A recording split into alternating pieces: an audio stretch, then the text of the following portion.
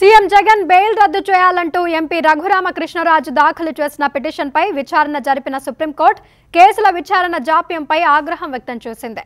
జగన్ కేసుల విచారణలో ఎందుకు జాప్యం జరుగుతోందని సిబిఐని ధర్మాసనం ప్రశ్నించింది. ఒక పార్టీ అధ్యక్షుడు ముఖ్యమంత్రి ఆరోపణలు ఎదుర్కొంటున్న కేసుల విచారణ జాప్యం జరగకూడదని స్పష్టం చేసింది. నాలుగు వారాల్లో కౌంటర్ దాఖలు చేయాలని సిబిఐని ఆదేశించింది. జగన్ బెయిల్ రద్దు పిటిషన్తో పాటు కేసుల విచారణ వేరే రాష్ట్రానికి బదిలీ చేయాలన్న పిటిషన్ కలిపి విచారిస్తామని ధర్మాసనం పేర్కొంది. ఇదే అంశానికి సంబంధించిన పూర్తి వివరాలు మా Delhi bureau chief TSR phone లైన్లో అందిస్తారు. టిఎస్ఆర్. మన దగ్గర ప్లాట్ కొన్న వాళ్ళందరూ మన కాటేజెస్లో బస్ చేయవచ్చు. తెలుసు కదా మన దగ్గర మద్యపానం ధూమపానం నిషేధం. ఈయన పాలసీ చాలా బాగుంది.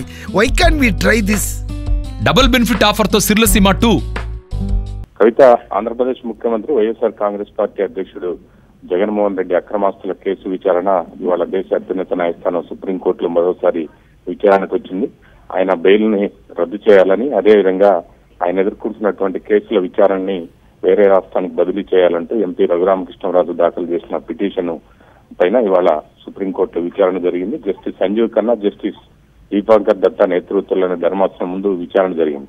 వాస్తవానికి పిటిషన్లోనే ఆయన జగన్మోహన్ రెడ్డి బెయిల్ ఎందుకు రద్దు చేయాలి?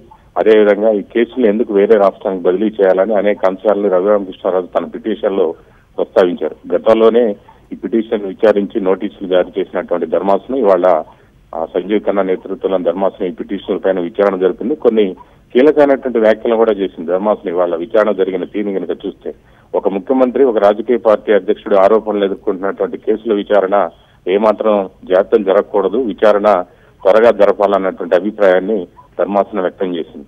ధర్మాసనం ముందు పిటిషన్ విచారణ. ఎందుకు గతంలోనే మేము ప్రశ్నించాము ఎందుకు కేసుల విచారణ జాప్యం జరుగుతుందని మీరు ఇప్పటివరకు దానికి స్పష్టమైనటువంటి సమాధానం కూడా ఇవ్వలేదు. గత విచారణ సందర్భంగానే కేసుల విచారణ త్వరితగతిన పూర్తయ్యేటట్టుగా చూడాలని కూడా మేము చెప్పాము. అయినప్పటికీ ఎందుకు జాప్యం జరుగుతుందంటూ ధర్మాసనం సిబిఐని ప్రశ్నించింది. సిబిఐ తరపున హాజరైనటువంటి అదనపు సొలిసిటర్ జనరల్ రాజు ఈ హైకోర్టులో వేసినటువంటి డిశ్చార్జ్ పిటిషన్ల కారణంగానే విచారణ జాప్యం జరుగుతుందనేటువంటి అంశాన్ని తీసుకొచ్చారు ధర్మాసనం. అప్పుడు కూడా ధర్మాసనం ఆ ఎన్నికలు రాజకీయ కారణాల కారణంగా విచారణ జాప్యం జరగటం అనేది సరైనది కాదు.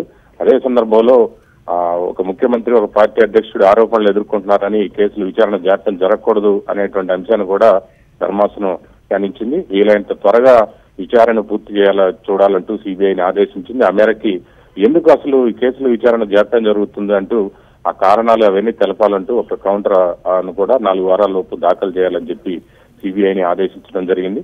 అదే సందర్భంలో జగన్ బెయిల్ రద్దుకు సంబంధించి ఈ కేసుల విచారణ వేరే రాష్ట్రానికి ఏదైతే బదిలీ చేయాలంటూ రెండు పిటిషన్లు దాఖలైనాయో ఆ రెండింటినీ కలిపి తాము విచారిస్తామంటూ తదుపరి విచారణని నాలుగు వారాల్లోపు విచారణ జాప్యానికి కారణాలు ఏంటి తెలపాలంటూ నాలుగు వారాల్లో పిటిషన్ కౌంటర్ వేయాలంటూ సిబిఐని ఆదేశించింది.